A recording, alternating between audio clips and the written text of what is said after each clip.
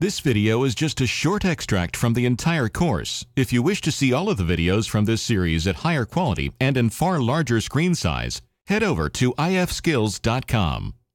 When you're working in Final Cut Pro, you create render files. And the render files are used by Final Cut Pro so that you can do playback while you're doing your editing. Once a project's done, you don't really need those anymore, but they can hold gigabytes of information hostage on your hard drives. Some of my students will ask me, how do you get rid of them?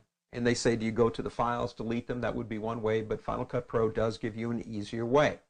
Go up to the word Tools on the pull-down menu and go down to Render Manager.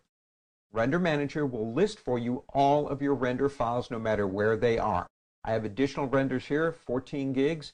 The current lesson I'm working on, 3.7 megabytes. If I want to get rid of any of these render files, like you say, well, I haven't worked on this one in years, all you have to do is click here and say remove. You select the ones that you want to remove and basically click OK. It's a great way to get rid of any additional render files that are no longer necessary.